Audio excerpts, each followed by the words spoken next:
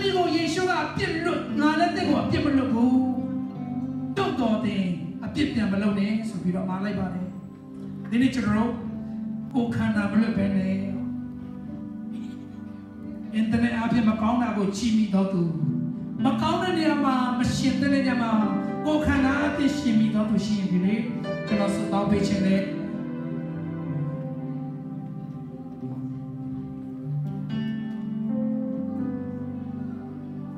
ယာကုပ်ထက်ကောင်းမြတ်ဆုံးလင်သောအရာအထက်အရာကနေသိရောက်တယ်လို့ဖော်ပြထားပါတယ်။အဲ့ဒါကြောင့်မကောင်းမြတ်တဲ့ဖျားနာခြင်း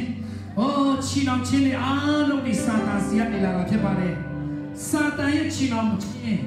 လူတယောက်ကိုခွင့်မလွတ်နိုင်ဘူးဆိုရင်စာတန်ရဲ့တင့်ကိုအလုံးတင့်ကိုအနောက်ရှစ်ပေးနေတာဖြစ်ပါတယ်။စုံစမ်းနေတာဖြစ်ပါတယ်။လူတယောက်ကိုခွင့်မလွတ်နိုင်တော့ဘူးဆိုရင်စာတန်ရဲ့လက် ချေလက်ခွတ်ထဲမှာလက်ထဲမှာတင်ရောက်နေပါပြီအဲ့ဒါကြောင့်ဒီနေ့စုတောင်းပေးဖို့ရလိုအပ်ပါတယ်ကျွန်တော်ခေါ်ဖိတ်ခြင်းနဲ့ခန္ဓာလွတ်မြောက်ခြင်းနဲ့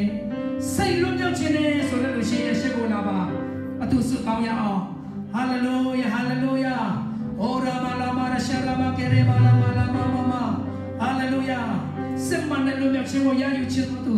အရှိကိုလာပါအတူစုတောင်းရအောင်အရှိကိုလာပါ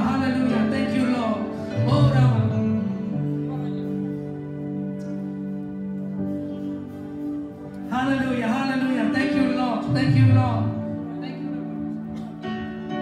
Oh, hallelujah. Thank you, Lord. Thank you, Lord. အရှိကိုလာရှိသေးတယ်ရှိသေးတယ်အပြည့်ပြည့်စစ်ခဲမှမမောနေတော့သူများနေနေအတီဘဝနဲ့ပြတ်မသွားပါနဲ့ဘုရားသခင်ဒီမိတ်ဆွေရဲ့အသက်တာကိုစစ်မှန်တဲ့လွတ်မြောက်ခြင်းကိုပေးမှာဖြစ်ပါတယ်